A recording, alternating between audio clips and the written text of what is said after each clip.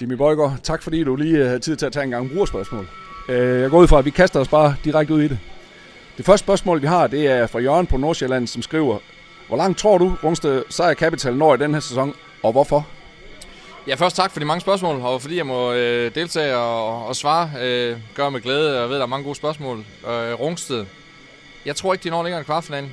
Øh, de kæmper meget for at finde noget form, og hvis de finder det, kan man ikke afvise det. Men øh, nu står vi på en aften, hvor de lige har tabt til Rødovre, og øh, det tror jeg gør, at de, øh, de er ude af top 4, eller ude af muligheder for at gå i top 4. De skal starte på udebane. Jeg tror også, de bliver, øh, bliver valgt, måske som en af de første. Man kan sige lidt, fordi øh, turneringen er så overrumlende, så kan det faktisk måske give dem en chance. Fordi et eller andet sted tror jeg faktisk, de har større chance, måske i en serie mod øh, Aalborg eller Odense. Øh, måske endda Frederikshavn.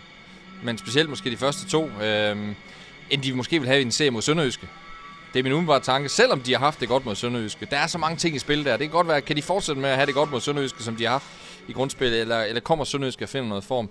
Og det der, det er jo nogle af de ubekendte, som ikke kun gælder for Rungsted, men for også for de andre hold. Men umiddelbart lige nu med deres formkurve og sådan noget, så er de ikke top 4 hold, øh, og så ryger de i en kvartfinal, hvis ikke de finder noget øh, meget snart. Men de har en måned til at, at finde det, men øh, havde du spurgt mig efter, havde jeg sagt men semi, og det har jeg også skrevet flere gange og steder. Nu siger jeg en kvartfinal. Jørgen har et tillægsspørgsmål. Han siger om Rungsted, har de indfriet forventninger med en træner fra SHL og med deres import, som er en ret høj standard?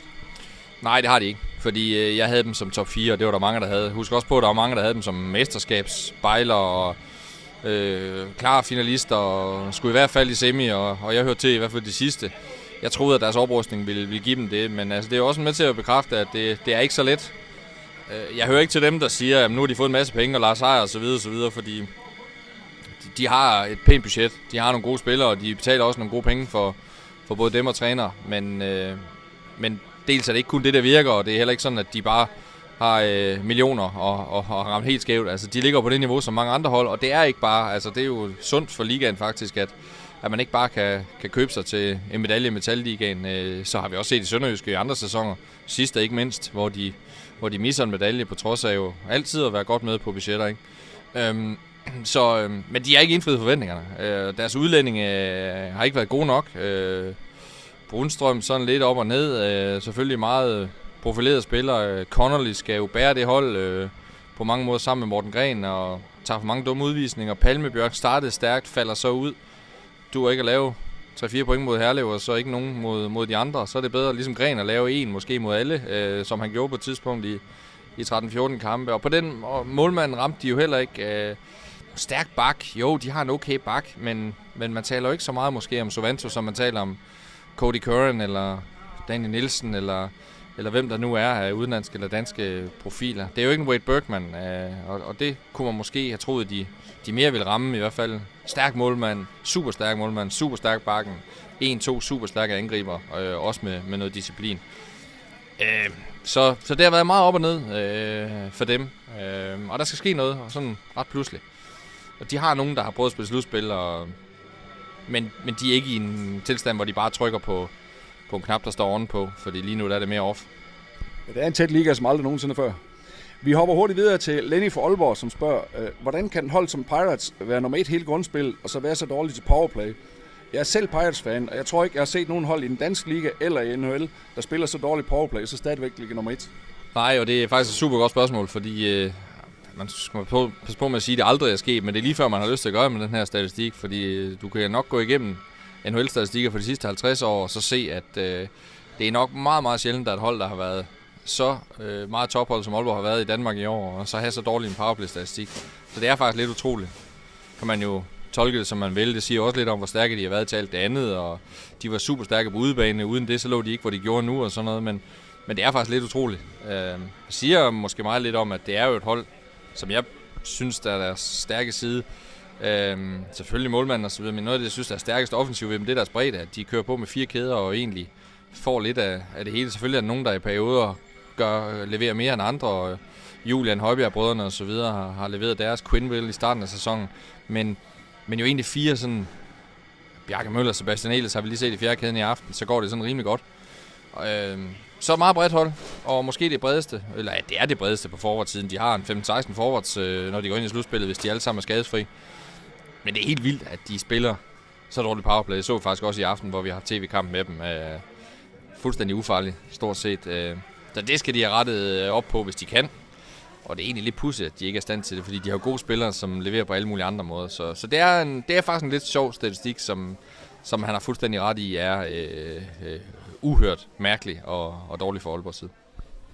Vi hopper videre til den næste.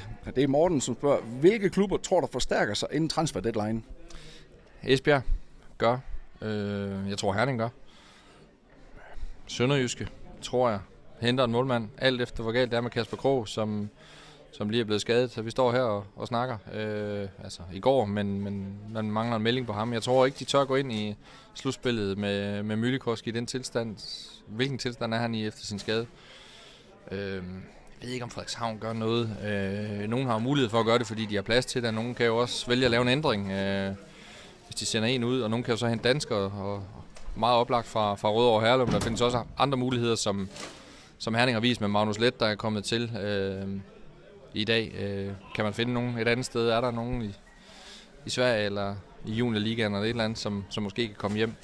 Øh, som vi har set det med Marcel og tidligere. Øh, men nej, det er nok det er nok udlændingen primært, vi skal kigge på nu. Øh, men jeg tror, at Esbjerg gør noget. Jeg tror, øh, godt bud er vel, at, at Jordan Nagsted ender der fra, fra Herlev. Øh, det er der var kraftige rygter om, ikke? Og, og så, så nogle andre, ligesom vi har set Asborg øh, og Ilemand ryge til Gentofte og, og Rungsted. Øh, Klarskov måske kan komme i spil fra Rødovre.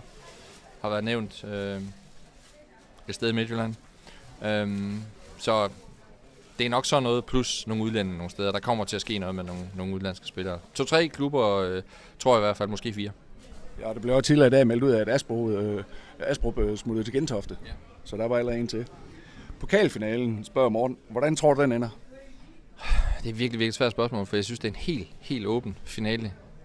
Metalkop har jo været super spændende de sidste par år med, med hold i finalen, som gerne vil vinde det. Okay, sidste år overraskende og uden så vandt så stort i Frederikshavn, men det her det er jo to sultne hold, nye hold også i Metalkop sammenhæng. Det synes jeg gør den både øh, helt fantastisk. Øh, bemærkelsesværdigt, at Aalborg har haft godt styr på, øh, på Rungsted, har vundet deroppe et par gange, og, og København har lukket fuldstændig af. Men Aalborg i formkrise, Rungsted i formkrise, øh, lige nu, selvfølgelig en luksussituation for Aalborg stadig, ikke til at vinde grundspillet, men, men de har jo ikke været særlig godt kørende her i sidste halvdel af grundspillet, øh, siden egentlig december måned. Øh, så jamen, det er virkelig svært. Altså, det er, det er næsten ligesom at, at række fingrene i vejret lige og, og gætte, eller som vind blæser, og skulle give et bud på det. Øh, ja, for ikke ret lang tid siden, uge to måske, eller de fik finalen, så tænker jeg, okay, der er så meget gejst i Rungsted, der bliver en fyldt hal. Jeg tror egentlig lidt på dem som, som favorit. Jeg vil nok godt give dem en lille favoritværdighed, fordi de kommer til at lave en fed fest, og det bliver en øh, stor event.